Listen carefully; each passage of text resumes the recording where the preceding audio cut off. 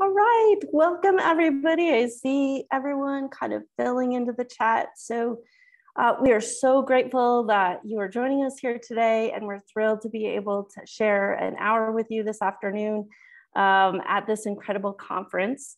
Our session today is titled, as you can kind of see in front of you, The Growing Space Economy, the Education Pipeline, and a Galaxy of Opportunity, which is a really exciting conversation to have. I'm looking forward to this.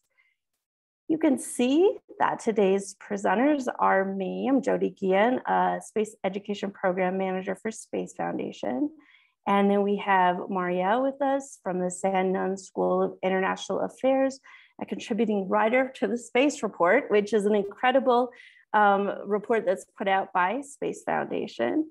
And then we have Courtney Stadd with us as well, the founder and president of Capitol Alliance Solutions, the vice chairman of the Civil Space Committee and Aerospace Industries Association, and a contributing writer to the Space Report as well.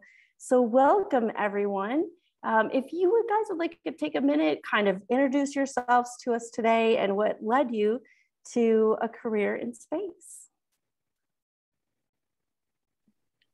Sure, so should I begin there? Sure, that'd be great. So I um, am a professor at uh, Georgia Tech in the School of International Affairs. Um, and I got into the space field basically because I loved it as a kid and never strayed too far from it. So I did my undergraduate in, in aerospace engineering um, and really loved that and understanding, you know, how space technology gets built, how it gets put together, the, the science behind it. Um, and then I uh, sort of tried different jobs and, and worked in worked as an engineer, worked as a systems engineer, and then kind of came across space policy, um, which is really asking these questions about, you know, not just how do we build um, these systems, but which systems should we be building and why are we building them and which other countries or which other partners might we want to work with and how do we do that effectively?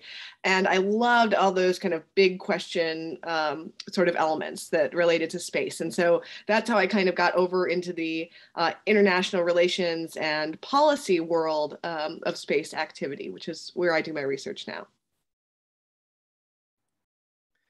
And a little later on there's a chart that shows sort of the zigzag of, uh, of my particular career trajectory. But in essence, um, like Muriel, I became very enamored with the whole space world when I was a, a young person. Oh, you want me to do this now, Jodie?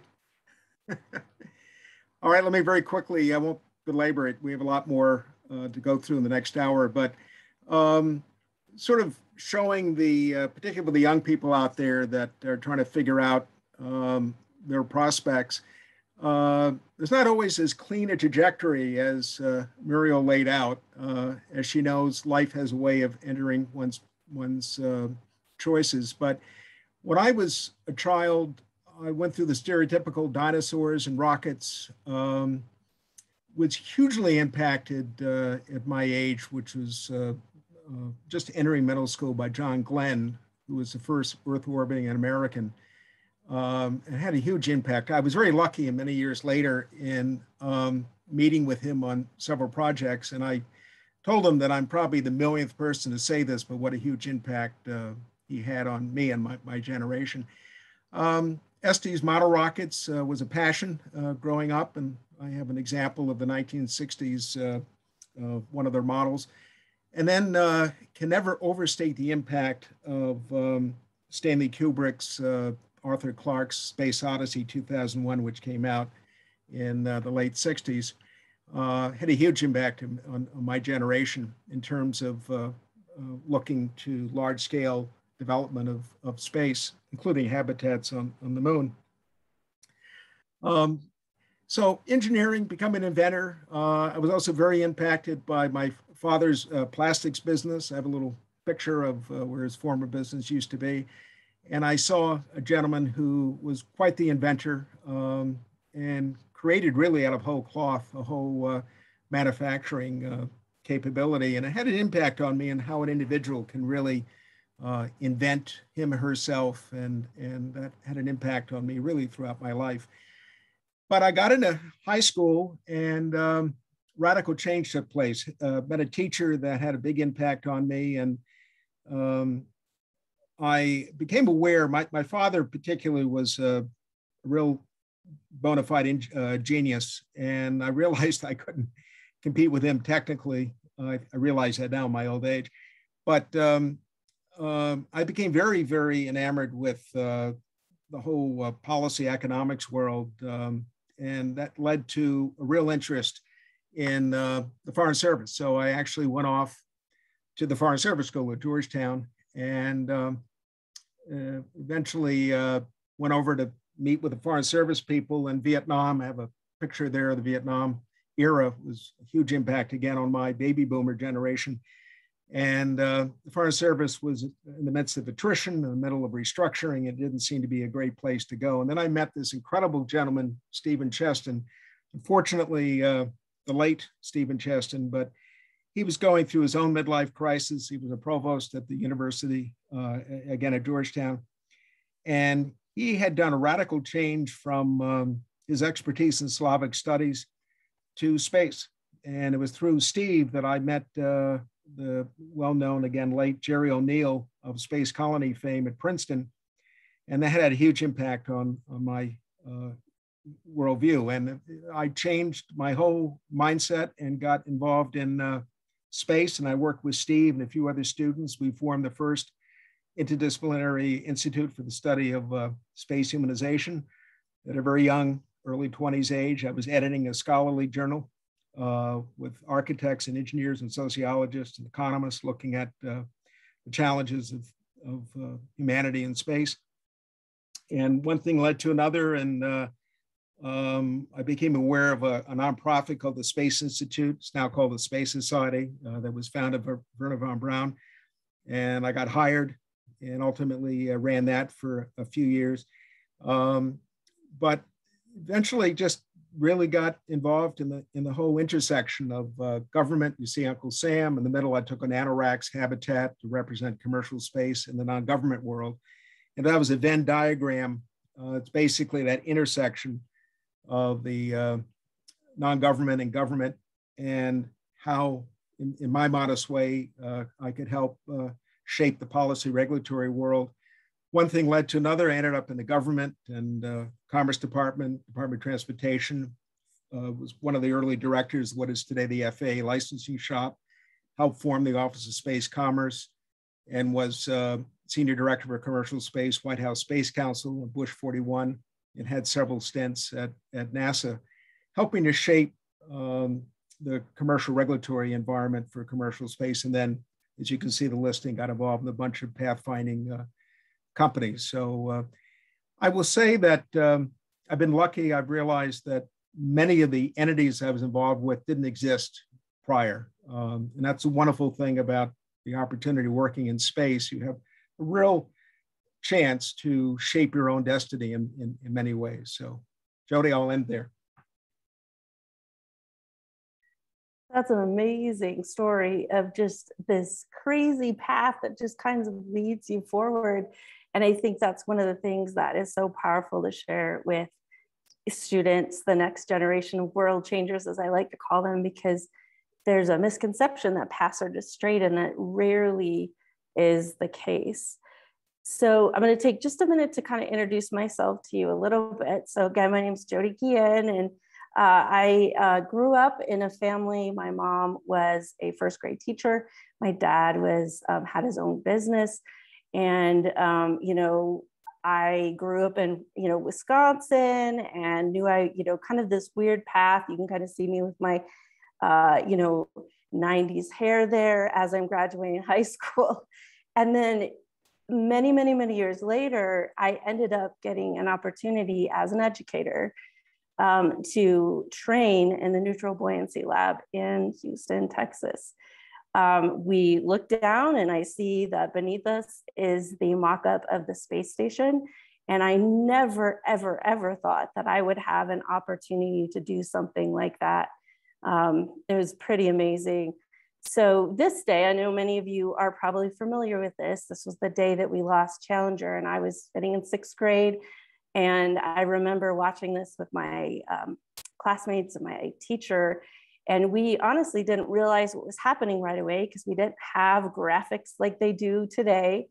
And the way that my teacher handled that moment forever changed my life. And that was the day that I knew I wanted to be a teacher. Now, I would love to be an astronaut. I'm not going to lie. I'm still waiting for my chance.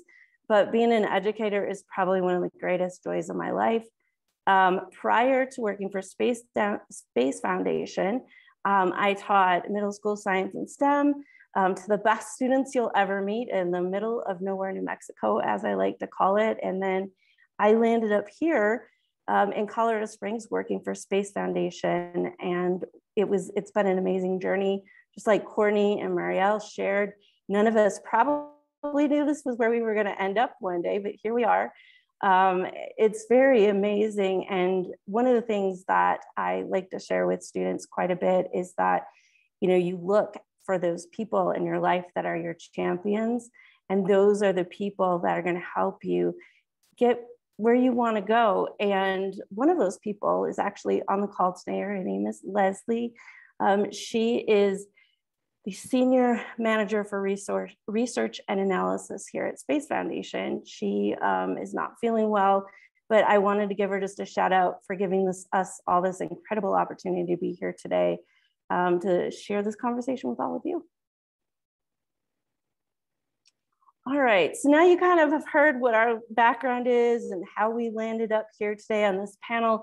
And we really just want to kind of have a conversation about, um, you know, what do we think is going to be happening in the next 20 years and how, do, how are we going to get there? And I know um, Courtney mentioned early on that one of the things that he was doing was creating or being a part of these organizations that didn't exist until he got there and i completely agree that it's it's totally amazing to be part of that process and to see where you end up um, i'm curious Mariel what do you what is one of the most fascinating developments you see headed um, in the space ecosystem Sure. Well, I think the one that we're all kind of seeing play out in the news, uh, at least in part, is the, the growth of commercial um, activity in space.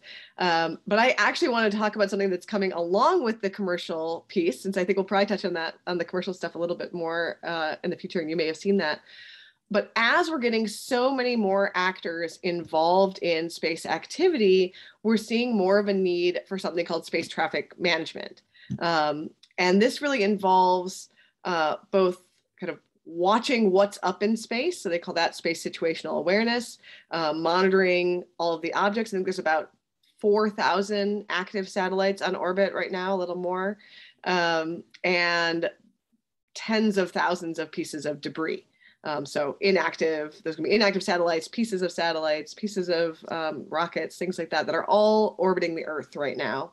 Um, and we're putting new stuff up very very quickly uh, quickly more much more quickly than we ever have in the past and when you do that you start to have more and more potential of things running into each other um, accidentally on orbit um, and then also you know uh, space is used by militaries as well and it's very important to the military. And so there's the, the potential for accidental uh, collisions in orbit and there is a potential for um, conflict in orbit as well. And so we have this whole area of um, like I said, space traffic management, trying to think about how do we coordinate across all these actors, governments, non-government, you know, universities and schools now are putting up satellites, um, countries across the across the world, and put in place some uh, maybe agreements or guidelines about how we keep space a sustainable space and how we deal with potential collisions and, and issues like that.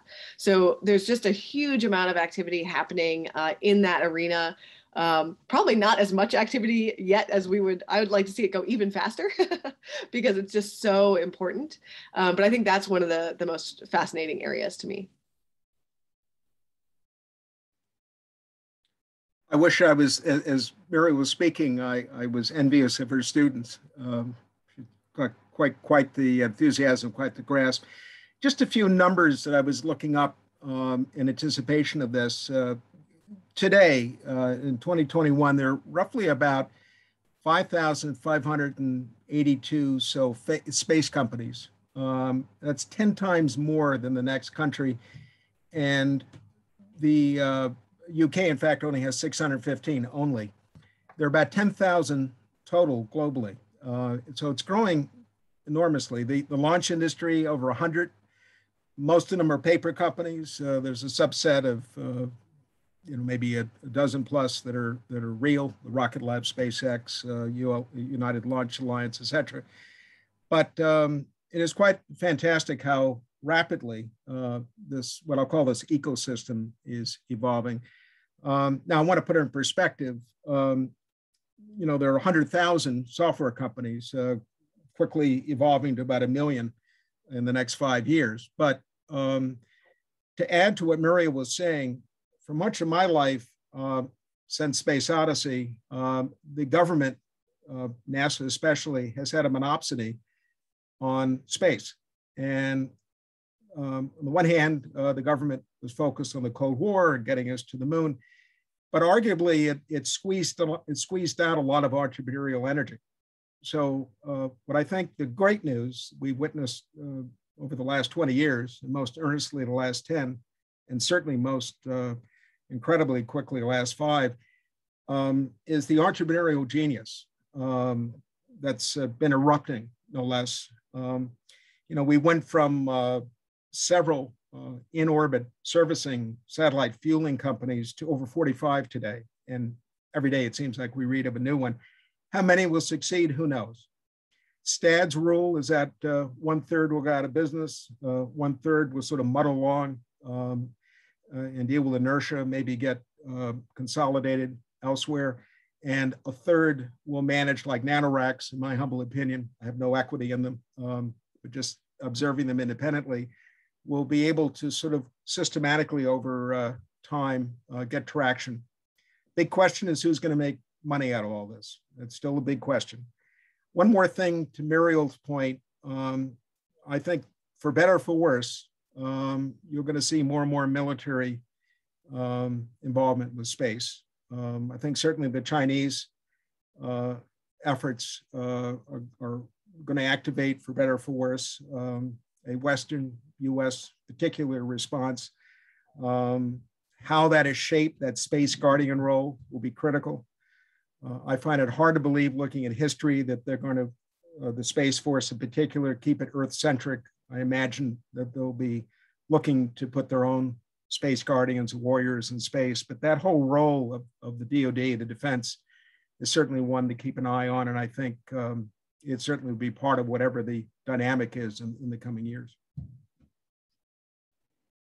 Yeah, I couldn't agree more with you. And I know um, Lesley was just kind of um, dropped a message and was saying that, you know, India's, India is focusing on private privatization. And then in the last year, more than 40 private space companies have been introduced there. And that's something that we're really seeing is this explosion of other countries now wanting to be part of the space ecosystem and the opportunities are just amazing for everyone i really think one of the things too that i've really noticed as some of these commercial partners have started launching um, missions civilians with inspiration 4 was very exciting to watch um, is the way that they've been able to market those missions to bring in this whole other audience of people that maybe wouldn't be interest, interested in space at all. So, you know, we've got kids getting excited because they have the zero gravity indicators flying around and um, maybe, you know, people that love cars. So then when Elon launched the Tesla, all of a sudden you have all of these other people that may be, in, you know, interested in what's happening and I've really thought about that a lot and wondered if that's going to help um, with some of that money making that Courtney's mentioned in the need to kind of develop that ecosystem further to make it more sustainable.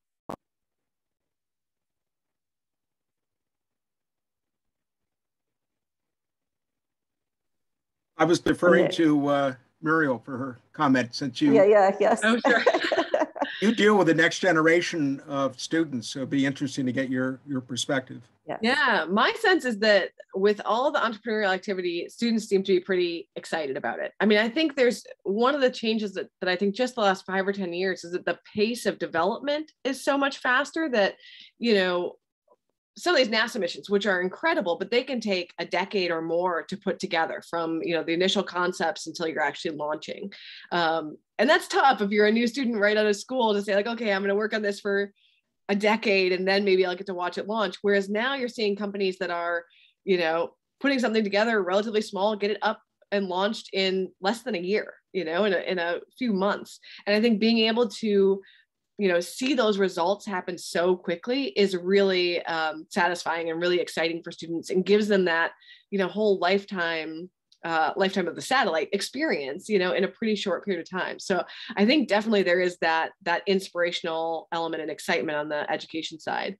I think you know when i think about the the reaction to some of the commercial activity i feel like there has been uh, the excitement, and I do definitely see that in the students. But I think there's also been some people who are new to the space world and are like, why are they doing that? you know? And so I think there's also a job for those of us that work in the space industry to help explain, you know, what are the implications of that technology that's being developed? Why is it worth spending time and effort, you know, developing uh, bigger and better rockets or more efficient rockets um, when there's lots of other issues we can work on, you know? And I think realizing how many places space technology touches our daily lives and and enables a lot of the things that we do day to day um, is another important element that is a little bit more behind the scenes but um, i think really important as well. I, I think that's really critical. I'm sure many of us in the space community have no shortage of debates with people outside the community who, look at it as zero sum. You know you're, you're investing in this exotic world of, of beyond Earth uh, technology and what impact does that have on Earth? And of course, we know, and Mira is exactly right, we've got to do a much better job of communicating the, um, uh, the, the, the, very real, tangible impact that these technologies, uh, weather forecasting is obvious, but remote sensing and, and so forth have fundamentally on the environmental um, nature of this, uh, uh this planet of ours. Um, and I always viewed uh, the future of humanity in space as very much tied to um, the relationship, the beneficial impact uh, on, on Earth. Uh, we can get into that as you see fit, but it is definitely not a zero sum. And final comment about inspiration, I think that was a milestone. Um, and who knows about history, right? It's a guessing game, but I gotta believe that was our, in many ways, our Kitty Hawk moment. Sure, it was a billionaire. Sure, it, it, it was a, a you know, select group of people, but what a group of people. Uh, and I think the brilliance of uh, tying that mission um, to St. Jude's, the cancer hospital, was, uh, was, was, was, really brilliant. Um, and the, the, fact that these were civilians and, and NASA had no, no hit on NASA, but the fact that there was minimal reference to, to the agency. This was a commercial civil effort um, I think was a real uh, game changer that would, I've got to believe, act as a, um, the John Glenn moment that I had, I suspect has been replicated among many young people out there. Yeah, I couldn't agree more with that. That was absolutely amazing to watch. And I know at Space Foundation, we have a division that focuses on um, you know, space technology and how it relates to Earth. And one of the things we say around here is that we're advocating for innovation, but that is allowing us to better life on Earth. Remember during the pandemic, um, which we're still in, but in those very early days when it was so scary what was going on and watching some of the engineers and scientists at JPL take this technology that they developed for the space station and turn around and use that to create additional ventilators to send out um, to hospitals where they were desperately needed. Um, it, that was a great look at why what we're doing in space really has an impact here on Earth. It's pretty amazing stuff. It does, and and there's um, another collateral benefit too. Um, again, I have many friends in public affairs at NASA, and I don't they do great work. But one of the issues that many of us have with the NASA websites is that you're two or three clicks away from oblivion when you're trying to find something of, of utility. You know that the Space Foundation, no less. Uh, a, gate, a great utility, but but in terms of user uh, friendly, has some challenges. Well, there are new groups like supercluster.com, made up of some 30 year olds who got frustrated and have created their own very compelling, exciting um, uh, website that puts you a couple of clicks away from knowing everything you want to know about the dogs and, and other monkeys that have been sent to space to all the cosmonauts, taikonauts, and, and American uh, astronauts, uh, Europeans, etc. They've gone to space. Um, and they do it in a very user-friendly way. And they've taken a lot of the stories of space exploration and put it into a very user-friendly narrative form. So um, these are people who were in the marketing PR business and suddenly now are pursuing um, space as their future. And they come along like pilot fish and a big whale. They're necessary, those storytellers, as we begin to open up the frontier. I liked that kind of, I love that, that storytelling of these missions and the people that have been the innovators and the um, adventurers, the pioneers of the space industry. You know, and I kind of was wondering, um, talking along that vein, what do you see as some of the most in-demand space careers as we kind of launch into the next couple of decades going forward? Yeah, I'm happy to go first on that. Um, just working with with college students all the time, you know, I definitely think about this issue. I, I think one of the most exciting aspects is that it really is broadening, and, and I think you can see that. So absolutely, we need the engineers, we need the scientists. Like, there's a lot of cool stuff that needs to be built. Um, but even you know we've talked so much about commercial and entrepreneurial we need the entrepreneurs right that there are a number of programs that have started up now looking at space entrepreneurship and and the interaction of space and business right and i think that's a really exciting new skill set um, you know relatively new to the to the space community that's really needed. Um, the you know on the policy side there's uh, a lot of of issues that for the technology to really thrive for these companies to really thrive you've got to have the policy right. You know you got to have the right type of regulations that you know that's not too much not too little the right framework the right kinds of partnerships. Um, you know we talk about spacex which has been amazing uh, and and is doing amazing things with inspiration 4 but um, their original partnership with NASA was critical to their success, right? And so you had some far-sighted people at NASA who said, you know, we're going to partner with this commercial um, entity, and we're gonna we're gonna bet on their success, and we're gonna contribute to their success. Um, and man, has that paid off, right? I mean, I think it's so so that you know that policy side of it, I think is important. Um, uh, you know, I think the the storytelling, the communications, you know, I, I think there is just really room you know across the the spectrum for jobs in space. Um, i see someone uh, Lesley mentioned on here the you know data analysis too which is a great a great point. A lot of my research has had to do with earth observation satellites. And in that realm um, you know there's a lot of new new satellites going into space but the bigger growth is on the ground in all the analysis right? Like we have only at the tip of the iceberg in the ways that data can be used right? And it's going to be combining that with with big data analysis techniques, with machine learning, AI, all these other things that are really going to open that up. Um, and and create new products and new services uh, that I think is going to be again, you know, a place for jobs and, and a place for new space uh, output.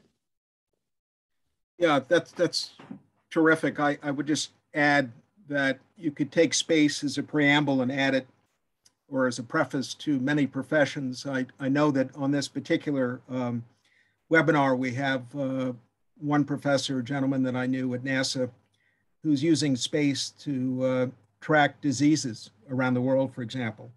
Um, so he is combining his space uh, expertise background uh, with, uh, with the whole disease vector uh, monitoring environment.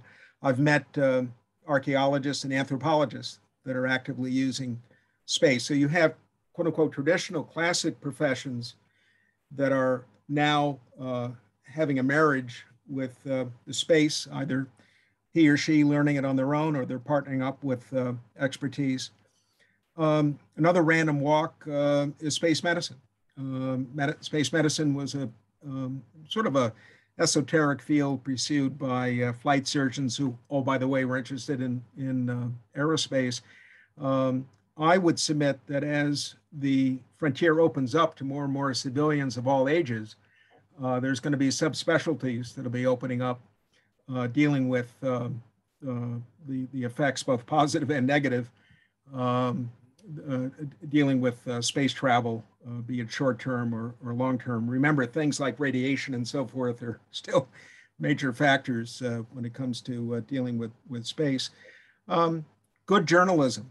Um, with all due respect to the, and there's a, some very fine writers out there, but speaking personally, I find one too many fanboy and fangirls out there. I think we need to have more critical uh, reporting. Um, I was a fan of Craig Covault, the, the, former writer at Aviation Week, Kathy Sawyer, who was for years a wonderful uh, Washington Post reporter. And these were very balanced. And, and I think uh, uh were very um, critical. They really did their homework and, and dived into uh, the issues. And I think we, we need more of that not less today um, on that side. And finally, I would say that um, as we enter the space realm, um, you know, we went as a world from the ancient Greek Euclidean world of three dimensions and then fourth dimensions. And now you get into the space dimension, which is wide open. And the effect that's going to have on the human intellect in terms of, of spatial uh, um, dealing with uh, different art forms and so forth, I think is, is opening up a whole new world. And another random walk, um, Arthur Clarke had long ago forecast uh, micro G in terms of uh, hospitals, um, minimizing that burden on the cardiovascular system. I could see as the costs come down, as Mariel referred to, and we begin to develop more habitats, I can see space hospitals. I can see entertainment in forms that we can even barely imagine today, um, taking advantage of micro G. So all bets are off. Again, I go back. I live in a profit and loss world, so depends in many cases, and, you know who, who can actually uh, see revenue and make a profit from it. But that's my my two cents on what I see. Courtney, I have to add, since you mentioned the, you know, putting space in front of any job, I just saw an ad a couple months ago um, for a space barista at uh, was at Virgin Galactic's uh, Spaceport America. So it really is true. Anything, I rest my case. anything you want to do, you can do it for space. That's pretty awesome. I can't even imagine. That would be incredible. Um, I was going to too, I just wanted to chime in on that 3D printing. One of my favorite quotes um, by the CEO of NanoRacks. We are entering an exciting area in space defined by a new philosophy. Not everything we use in space must be made on Earth, and I think that's really true.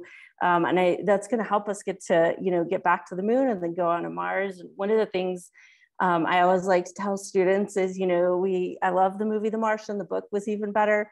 Um, but what would his life have been like on Mars if he had a 3D printer, right?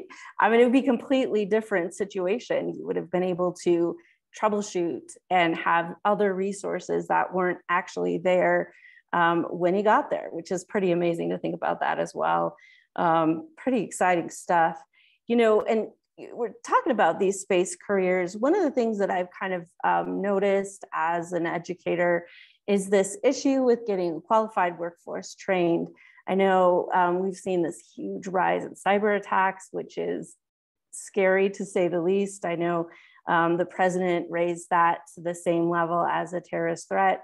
It's a very serious problem that we need to get a control of. And I, I, uh, we, you know, we need people, citizens of the United States, to be able to pass that background check in order to get in these high levels to um, make those decisions and have the training to fix that issue.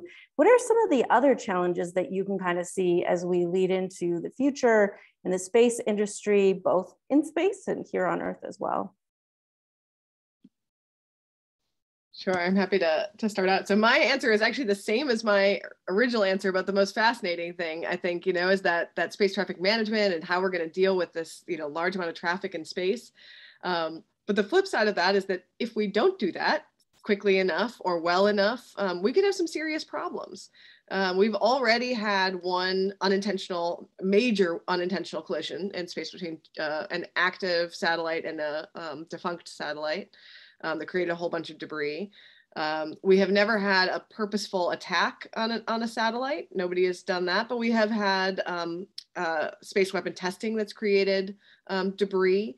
And so, you know, we really need to address these questions head on. You know, what is appropriate behavior is in space? What are the steps we're going to take to coordinate with each other and make sure that, you know, accidental uh, collisions don't occur or um, you know, to even reduce the amount of debris that, that we have uh, in orbit. So I, I think to me, those are some of, of the biggest challenges. You know, we pretty much everyone agrees we need to do them. There's a lot, I mean, and that's a, a good start, right? There's a lot of global um, awareness, growing awareness of this of this issue, but still the the process of working with other nations, working across commercial and government, and agreeing on specific rules that you're going to implement and people are going to comply with um, that's hard. It's hard to get down to the specifics there. So I think that's going to be one of the biggest challenges. How do we go from this? You know, we all know we need it. We all know it's important, but uh, get those specifics uh, in place and get an agency in the U.S. in charge of it, which is another thing we're still missing. I'm glad this session's being recorded because I want everybody to come back remember what uh, Professor Borowitz is saying. This is, it, it, and, and this is my two cents. It's appalling that um, the Congress has not stood up and finally designated once and for all. Uh, Commerce Department, uh, I happen to think Commerce would make a good lead. I'm at a point where choose somebody. Uh, the Pentagon has made very clear that they uh, want to offload that particular uh, sphere of responsibility. Obviously, they'll support and coordinate. But it is amazing. NAPA, the National Academy of Public Administration, in my humble opinion, wrote a very compelling uh, report supporting, in this case, Commerce Commerce's lead agency. Um, but be it FAA, be it Commerce, be it fill in the blanks, let's make a decision because there's going to be, um, unfortunately, a conjunction. Uh, who knows what the magnitude of it will be? And then there's going to be a lot of finger pointing. And there's no need for that. Um, and we should be proactive. And there's a lot of work going on, as Mariel knows, in the commercial business, uh, AGI, among many other companies, LeoLabs, that can offer today this very instant uh, capability to help uh, uh, manage uh, this, this growing population up there. By the way, Professor Nicogossian, who is listening to us, is an amazing man. He was a pioneer in space medicine, was a senior NASA government official for many years. He just sent a note in reminding us that from Inspiration 4 came ingredients for a new uh, uh, brew of beer. so who knows what will come from our, our work in space. I just saw that too. It was pretty awesome. It's a good reminder. Uh, we have a question in the Q&A that we might want to address here before we move on. Um, there's a heavy load on the environmental aspects. What about the environmental aspects? I mean, think about how the environment becomes even broader once we set out into space. Either of you have any thoughts on that? Yeah, I mean, I, uh, so space touches the environment in in a lot of different ways, right? So I mentioned I work on Earth observation satellites. So that's one way that that satellite technology is really directly used to understand uh, you know the environment and, and what's changing so a lot of our climate change data a lot of our every kind of environmental data um, comes from satellites because they're uniquely capable to collect worldwide data over the oceans over the arctic you know that's that's what satellites can do and, and other systems can't um, but then, you know, there's also, you know, I keep talking about the debris and objects in space and coordination and all that. Um, there's another researcher that that uh, refers to that as kind of space, the space space environmentalism right or the space environment and that we have to think about it the same way we think about taking care of the environment on earth and thinking about long-term sustainability um, we need to be thinking about the space environment in that same way um, so I, I, think those are two ways that I think about how uh, space and, and kind of environmentalism or, or taking care of the environment are connected. I, I have nothing to add to that. I think that was very, very well put. Yeah, you knocked it out of the park. Great job. um, you know, I want to kind of segue a little bit into just sharing a couple of, of some of the other challenges that um, we're seeing. Um, you know, we've got all this possibility, but then to move us to the next step and go forward, these are some of the challenges that we're facing cost of entry, risk associated, um, cost of transportation, any, you know, rate, the framework to put it all together. And then, of course, how are we going to continue to make money and make this a sustainable um, branch of the space ecosystem? Yeah, if, if I may, um, tomorrow, uh, my good friend Kevin O'Connell is on a panel, and I have no doubt that he will talk about uh, $4 trillion worth of um, space market over the next 30, 40 years. May, may that be correct? Who knows? But um, I, I, we should we do nobody a favor when we uh, de-emphasize uh, the challenges. Uh, I'm partly based on faith, and, and I've spent my life devoted to it. I, I believe that off-planet uh, migration development is part of our DNA as humanity. Um, I see the mining and development of resources um, extraterrestrial as a huge uh, opportunity. But in the same breath, I can give you the opposite side of it and the, and the tremendous challenges of working um, in a vacuum and, and, working in the life and death environment of, of space. Um, and I mentioned radiation, among other things. I'm pretty confident that our ingenuity will figure out a way to mitigate, if not uh, effectively address things like radiation, but uh, they're formidable. Um, so there's nothing that says that we uh, may not end up with Arctic-like uh, depots uh, distributed in the in the solar system versus the Jeff Bezos, uh, the late Gerry O'Neill concept of these huge space-based uh, human settlements that are self-sustaining.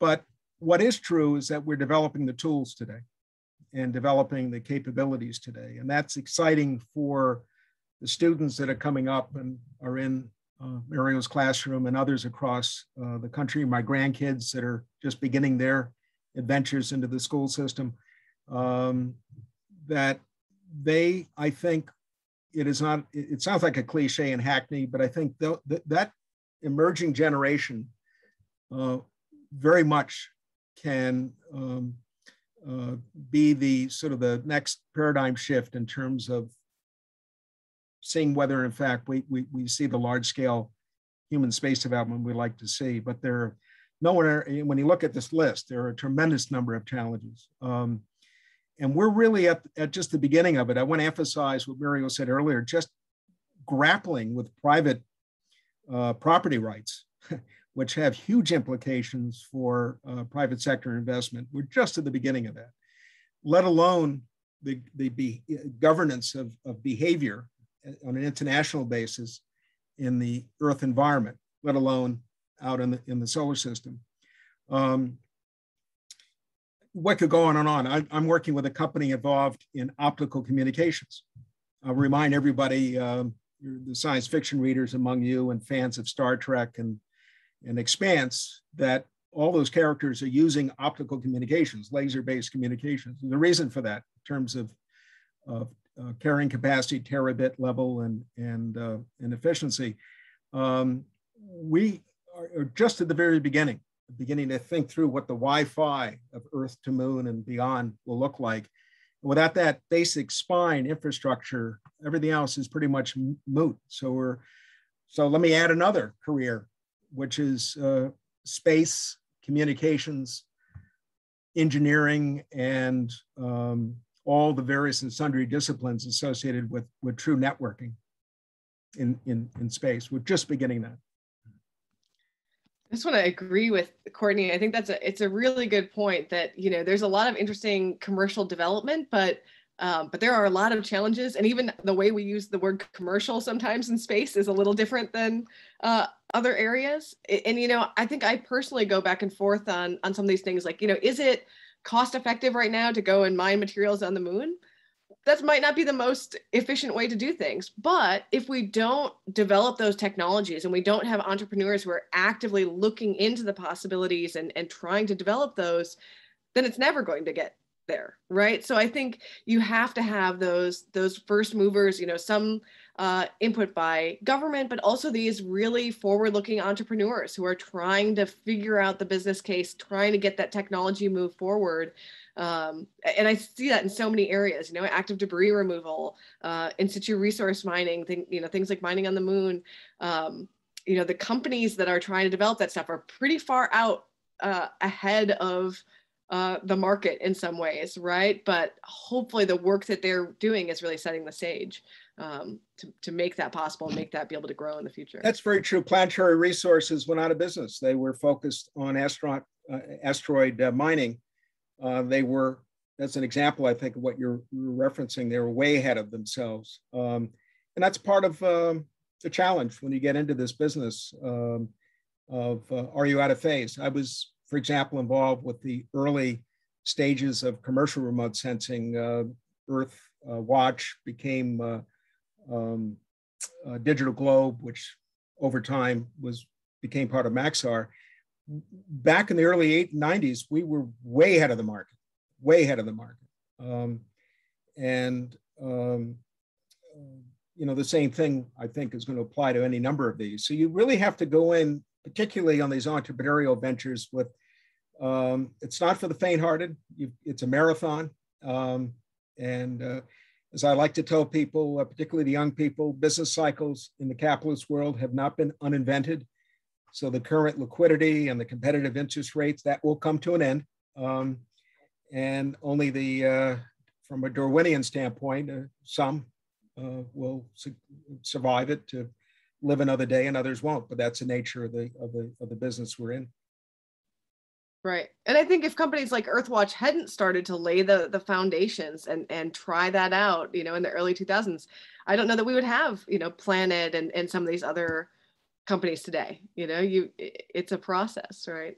It is. It's you know I refer to Joseph Schumpeter, uh, who's famous for his creative destruction or gale of creative destruction in the in the capitalist economy that he talked about. And I remind people you need lots of things happening in order for creative destruction to take place, and then have survivors that go on and populate, uh, quote unquote, the new economy. And that's what we're beginning to see today. Um, and I also will remind the listeners that Elon has been around for over 20 years. And, and so is that new space? I don't know. Uh, Virgin's been around for almost that long. Bezos formed Blue Origin way back in the early aughts. Um, it's it's a it's a big business. The uh, a long it, it takes a long time, and each one of them has had their own failures. Um, Elon um, sued NASA early on in the process, and many of us thought that was it. He was going to lose his biggest customer and partner, and it was perils of Pauline. Um, people like Lori Garver, the former uh, deputy, was very fearless and, and generated a lot of uh, opponents when she, among others, were supporting um, partnering with uh, uh SpaceX, for example.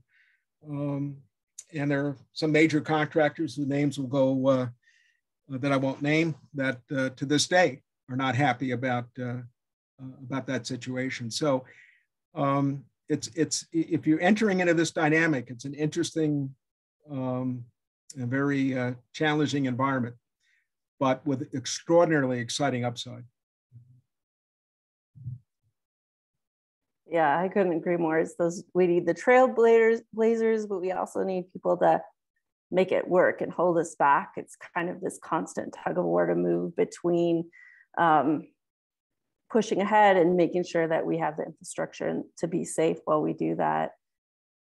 And Jodie, I don't want to get ahead of you, but at some point before we end, I, I'd like to have us talk a little bit about diversity in, in, in the community and some of the challenges associated with that. But I defer to you when you want to get into that. Well, let's look, let's kind of, we'll look at a couple of statistics. We can dive into that diversity conversation. And, you know, we've got some questions coming in. So I think we, you know, we've got a good we're trailblazers right here, right now, right? We're blazing trails. Um, I just wanted to kind of reference this. So this is, if you're looking forward and we're talking about, you know, the industry and the growth, you can kind of see where we're headed.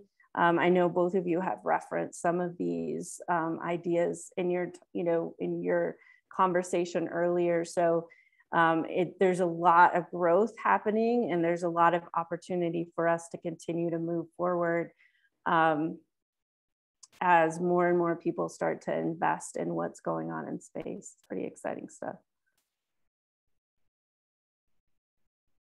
Gives another look at how that space economy is going to continue to grow. It's incredible looking at this. It's amazing to see where we're headed. Um, we're looking at workforce development. So, you know, we're pushing the envelope here and seeing more and more people invested into this workforce. And the workforce is opening up, of course, to include all kinds of different jobs that maybe we didn't originally think of.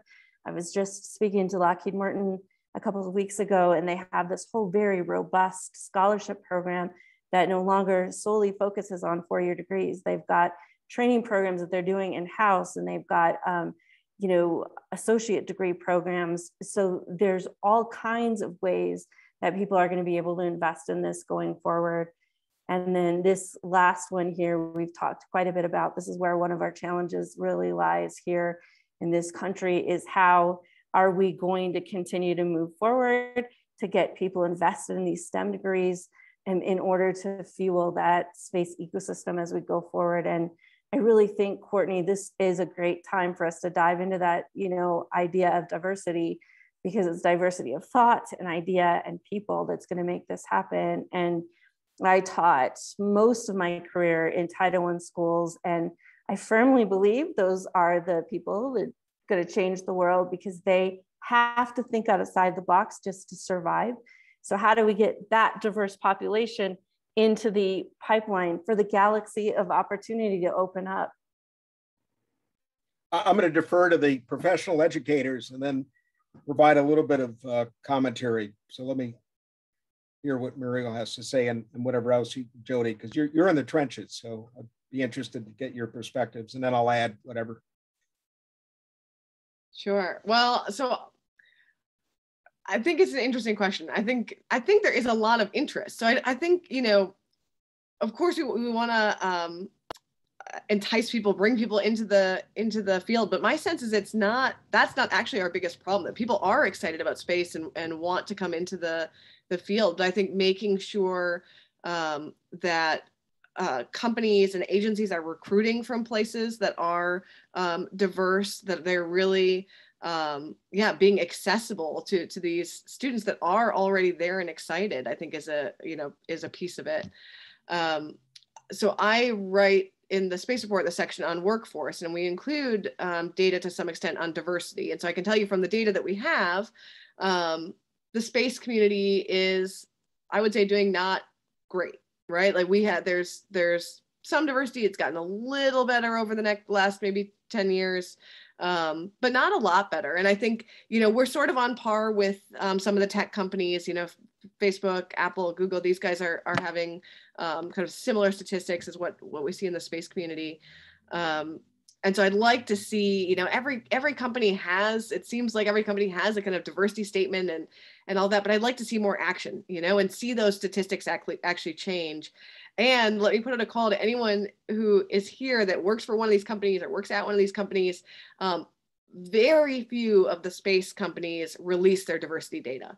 And so we have the high level kind of data on a, on a national level for the US, which is often not you know, it includes the space community, but it's not space specific. Um, and there's only a handful of companies that actually put out their data and will say, you know, here's how we're doing in terms of hiring on diversity, in terms of, you know, the diversity of our workforce. Um, and I think when we don't have those metrics, it's really hard to hold country hold com- companies accountable and to really hold ourselves as a community accountable and, and make sure we're making that progress um, so that'd be my personal plea is like let's please share that data um, and, and, make sure that we're you know being transparent about where we are. And if there's more work to do let's let's be aware of that and, and do that work. You know and i i just wanted to kind of i couldn't agree with you more. I you know i just wanted to add on with, to that statement. You know i remember many years ago taking students to uh, sixth grade students to go visit a university. Um, I, at the time, was like, I think they're too young. I don't know if they're ready for this yet. We sat them down before a panel of students. One of the first questions they asked is, What do I do if I get sick? What do I do if I miss my mom? Can I miss class for that? These are the kind of questions that students have that are first generation graduates that they don't know what that's like. And so I think mentorship is really key to you know, ensuring that students of today have a place in that ecosystem going forward because they see someone who looks like them doing that right now um, and passing that down to the next generation of students, I think is a really powerful thing to, to do as well. Yeah, I think that's all been well said. And, and um, you know, I'm reminded when I was involved with the NASA transition way back um, with Scott Pace, who was my deputy at the time, who many of you know was uh, the former head of the White House Space Council.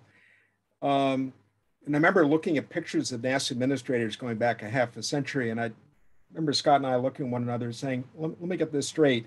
They're only white males that can run the agency. There are no women, there are no people of color. Let's get this straight. And I take great pride in the fact that we had recommended uh, Fred Gregory, who was uh, an incredible uh, gentleman of color, uh, great credential. He was an astronaut many times over, commander pilot, uh, as the first uh, deputy. Um, would have loved to have had him as administrator, but he was the first deputy. We've now had several uh, women, including the wonderful Pam Melroy currently. Uh, Kathy Lueders is running uh, human spaceflight, um, and there's several women that are running the centers. Um, but we absolutely need to do a better job of reaching out to um, not only ensuring more women, but uh, people of color, and particularly in disadvantaged areas. Um, and this is not a warm and fuzzy political thing. It's the fact that we've got tremendous amount of brain power that we're not tapping into. And you know, it, you don't have to be a sociologist to know that we self-select depending upon people who look like us, right? So we need to force ourselves out of our box. I'm happy to see that NASA's STEM program under Mike Kincaid is making a valiant effort to partner up with groups in, you know, outside the uh, quote unquote traditional communities, reaching out to historically Black colleges, Hispanic uh, institutions, among others. But there's no question when I show up at conferences uh, or virtual ones or pre COVID, uh, it's predominantly still um, Caucasian, more and more women, thankfully. But my God, it's clear anecdotally that we need to do a much better job uh, so AIA, wearing my hat, we're trying to do more and more in that area. And wearing my other hat with the Washington Business Roundtable, um, with our STEM work, uh, we're trying to consciously reach out to these young uh, people in the so-called underserved communities to find that young lady, young man who uh, could be inspired. Um, and um, again, that's a wonderful thing, if I may, on space. I remember once years ago, I was involved with a project with Zero G, Lockheed, and we sponsored a young lady from Nigeria who won a contest. And she walked like several miles to her school. I mean, it was unbelievable in her from her village. And we were able to bring her over, do a G. And she went on, and it became, by the way, front page across the entire continent of, of Africa. Uh, it was about 20 years ago, I think, roughly. She went on to pharmacology you know, um, and to me, that's that's great. I mean, uh, didn't have to become an astrophysicist, um, but space opened up um, her thinking, and uh, that that to me is the wonderful aspects of of getting young people uh, open up to uh, the potential of, of space and all the disciplines thereof. Yeah, Oh, That's my soapbox. No, no, go ahead. Go ahead. I just want to reemphasize your point about uh, you know being inclusive at all levels, right? Because I think one of the, the other things we see in the statistics is even when we're getting growth at kind of the the scientist engineer level of of the agencies of these companies, you're not necessarily seeing it in the leadership. Uh, the, exactly. The, they're even even worse, and so those people are there, you know. But give them the the yep. leadership opportunities. Put them in, you know, in those positions that allow them to to really um, be seen and to and to make change. So I think that's a really good point too. And be the role model for those young people. Uh, Charlie Bolden, of course, uh, was administrator, and he was a great role model for for young people. And we need to say a lot more of that. You're exactly right. Represented in the C suites and and others, uh, even a lot of the new starts, to be honest, could could benefit from from greater diversity. So, back to you, yeah. Jodie. I, I, actually have a question for you in the Q and A, Courtney. Um, what would it take for Congress to approve space commerce and, as a separate question, possibly its own um, NASDAQ tradable marketplace for the moon or Mars? So it's kind of an interesting question there. Well, if I understand the first part, it's what would it take to support commerce, uh, if indeed that's where they want to go? Um, it would take basically the oversight committee, the Senate Commerce Committee, and the appropriators, both the authorizer and, and appropriators, if you give a little bit of sausage making, to stand up and basically say, yay, verily, we, we support. But let me back up. It, it would take the White House to make it a priority. It would take the Secretary of Commerce to recognize that it's important and to take a stand. And um, I think then that would ensure that the both the House Senate committee would would uh, take notice and make it a priority. Right now, it simply isn't and NOAA is basically running the office. Um, and it's not clear that it's a priority. NOAA, after all, has a lot of operational responsibilities. So, bottom line, the administration has to stand up, make it a priority, along with everything else that it has on it, in its inbox. But can't underestimate how important it is. Um, as far as the other question uh, going uh, on the exchange, what yeah, give me a little more insight? so um, to is it possible to have a tradable marketplace for the moon or mars i think is kind of where that second yeah uh, and there's been talk uh, there's an economist at stanford for example who's talked about a, an exchange market there are a few others uh, other academics mostly have talked about it in theory sure um, but to have an exchange you need to have uh, enough um, a critical mass of companies making uh, a profit to do it uh, if how many ifs to maybe, right? If if uh, mining on the moon, for example, H3, choose your uh, resource of interest, comes to fruition, and you've got enough to make an exchange profitable, absolutely. But a lot of ifs. Kind of an exciting possibility though to think about. You know, and I just wanted to add too, I think the one thing that we can all kind of do here um, on this panel, but also everyone that's here with us on the chat, um, is to do our very best to um, create very educated voters because those voters are going to be what's going to move that needle forward as we kind of uh, move forward. I know not everybody is going to want to be um, in that STEM pipeline, but they can be by um, using their, the power of their vote and their voice to kind of raise awareness of what's going on. It's hard to believe that we're almost out of time. This has been such a wonderful conversation. I've enjoyed spending this last hour with you. Do you guys have a last thought you want to share with our amazing audience? I, I would only, off? first of all, thank you. you. You've been wonderful moderator, and I thank you for it. It's been a real honor to be part of this uh, very, I think, very important and timely conversation. Uh, I'd only add to STEM, I think we three would agree that calling it STEAM is probably worthwhile. There's a whole humanities area that we don't want to disenfranchise that I think will have uh, a real uh, career opportunity as well. So with that, I'll turn it over to uh, Professor Borowitz. Yeah, I, I, mean, I agree with everything you, you've said. I think it's a uh, been a really interesting discussion, an interesting and important topic. I think there is a ton of activity happening in space and a lot of opportunity um, for for new people wanting to join the field, kind of across the the spectrum. Um, and I also want to say thank you to to Jodie for organize for kind of coordinating uh, on short notice, and to Lesley uh, for bringing us all together and and uh, organizing this. So, uh, thanks to both of you.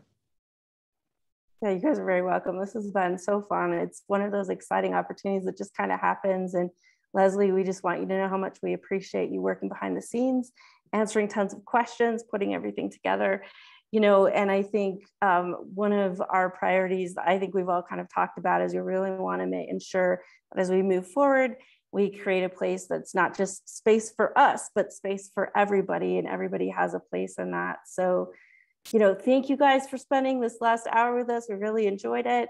Um, feel free to connect with us through the app. We're, we're all on there if you have any additional questions that we have not answered, and we'll look forward to uh, hopefully getting to do this again soon. And sometime. subscribe to the Space Report. Lesley does Yes. a brilliant job of editing it. So It's I encourage everyone to amazing. sign up. Yeah, it's amazing. It's really good. Lesley is a rock star.